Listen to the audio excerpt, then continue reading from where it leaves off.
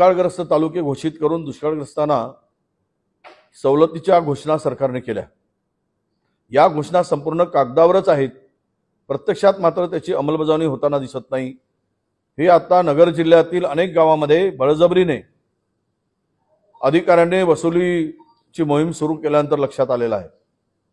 मग तो रोय असो शिक्षण उपकर असो महसूल कर असो जमिनीचा कर असो वीज बिल ही सर्व वसुली आता जोरात या सर्व अधिकाऱ्यांनी सुरू केली आहे.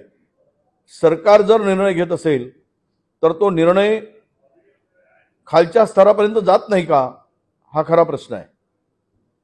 एक तर सरकारने शासनाने शिंदे फडणवीस आणि पवार सरकारने अधिवेशनामध्ये फार मोठा गाजावाजा करून काही शेतकऱ्यांना फार काही दिल्याचा आव आणला. आणि प्रत्यक्षात मात्र शेतकऱ्याच्या तोंडाला पानं पुसण्याचं पाप या सरकारने सुरू केलेलं आहे. कुठल्याही दुष्काळग्रस्त तालुक्यामध्ये दिलासा तर नाहीच. कुठली मदत तर नाहीच. परंतु बळजबरीने मात्र टॅक्स वसुली वीजबिल वसुली जोमात आणि जोरात सुरू केली आहे. या संदर्भात सरकारची भूमिका ही निश्चितच शेतकऱ्याला उद्ध्वस्त करणारी आहे आणि शेतकऱ्यांना मदत नाही तर शेतकऱ्यांना वाऱ्यावर सोडणारी यांची भूमिका आहे.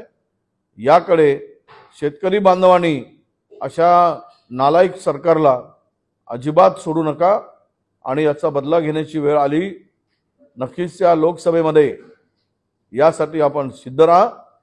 जो जो शेतकऱ्याच्या मुळावर उठेल त्याला त्याला त्याची जागा दाखवण्याचं काम शेतकऱ्यांनी करावं असं आव्हानही मी या निमित्तानं करतोय.